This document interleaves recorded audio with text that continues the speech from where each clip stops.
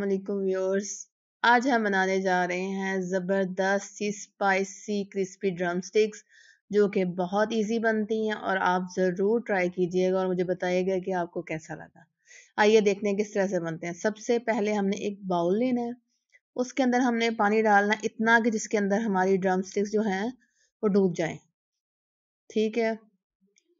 ये बहुत यमी बहुत टेस्टी बनता है और आपने इसको ज़रूर ट्राई करना है और मुझे बताना है कि आपको ये कैसा लगा।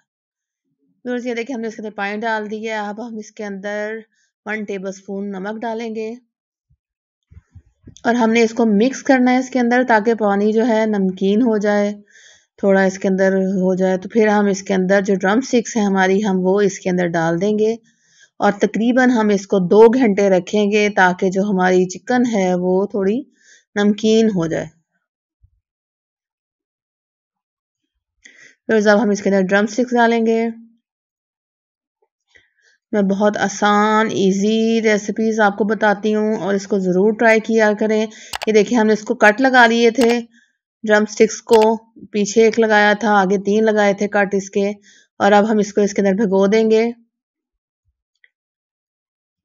तकरीबन हमारी बारह ड्रम स्टिक्स हैं। उसके लिहाज से मैं आपको सारे इंग्रेडिएंट्स बताऊँगी।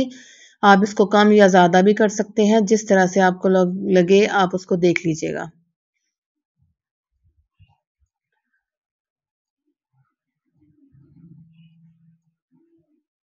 व्यूअर्स कुकिंग बहुत इजी होती है। आप इसको बड़े मज़े से बना सकते हैं। और मेरी बेटी बहुत आराम से इसको बना लेती है और बहुत मज़े के बनते हैं।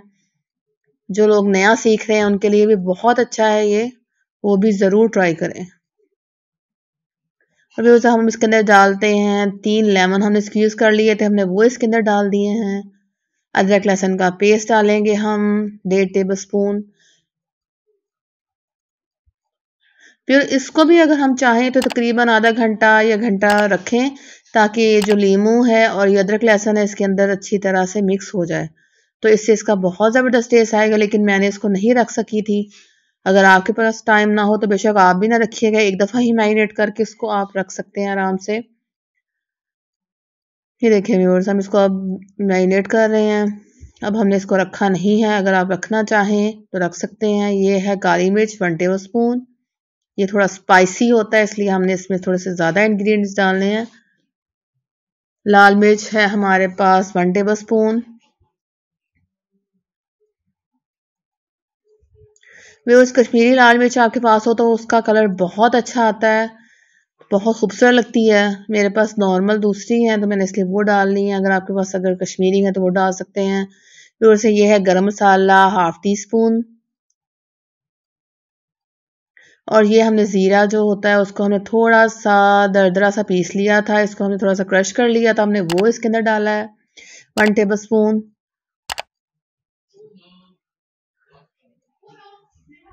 धनिया पाउडर मैं डाल रही हूँ इसके अंदर वन टेबल स्पून इसको भी हमने फ्रेश पीसा था, इसका टेस्ट बिल्कुल डिफरेंट आता है। अगर इसमें से कोई चीज़ आपके पास ना हो तो बेशक स्किप कर दीजिएगा टेस्ट वैसा ही रहेगा।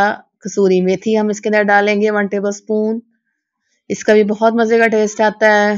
फिर अब हम इसके अंदर डालेंगे मैदा, तकरीबन वन कप हमारे पास मैदा है। हमारी बारह ड्रम स्टिक्स हैं और एक कप मैदा है। वो हमने इसके अंदर डाला है। और अब हम इसके अंदर डालेंगे कॉर्नफ्लोर थ्री टेबल स्पून हमने इसके अंदर कॉर्नफ्लोर डालना है ताकि ये ड्राई ड्राई सा थोड़ा सा बने। तब ये बहुत मज़े का फ्राई होगा। ये देखिए हम इसके अंदर डाल रहे हैं कॉर्नफ्लोर व्यूअर्स हम इसके अंदर एक अंडा भी डालेंगे। उसको अच्छे से फेंट लेंगे, फिर हम इसके अंदर डालते हैं अंडा। ये देखें अब इसके अंदर डालेंगे अंडा। इसके अंदर आप तिल भी डाल सकते हैं, इसके अंदर आप ब्रेड क्रम्स भी डाल सकते हैं, या कुछ और आप डालना चाहें, कुछ स्किप करना चाहें, अंडा नहीं डालना चाहें, आप देख लीजिएगा।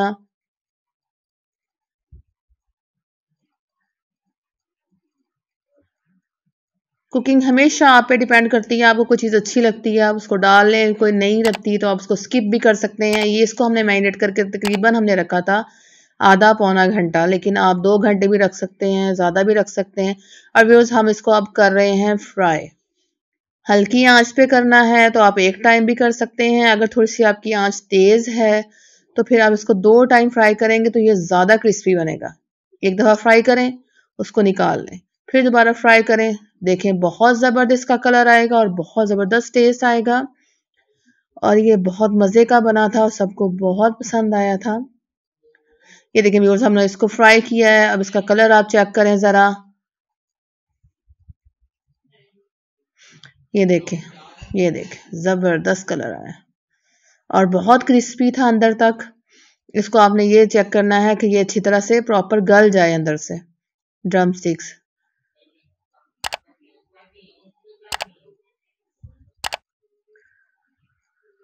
ये देखें व्यूअर्स हमने इसके अंदर अब सारी निकालनी है एक दफ़ा, फिर थोड़ी सी ठंडी होंगी ड्रम स्टिक्स हम फिर इसको दोबारा फ्राई करेंगे।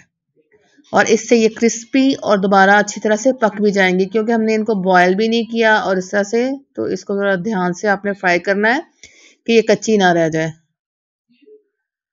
ये देखें और ये ज़बरदस्त किस्म की हमारी स्पाइसी क्रिस्पी ड्रम स्टिक्स तैयार हो गई हैं व्यूअर्स अगर आपको मेरी ये रेसिपी पसंद आई हो तो इसको लाइक करें, मेरे चैनल को सब्सक्राइब करें। थैंक यू सो मच और मुझे कमेंट करके बताइएगा आपको कैसा लगा। अल्लाह हाफिज़।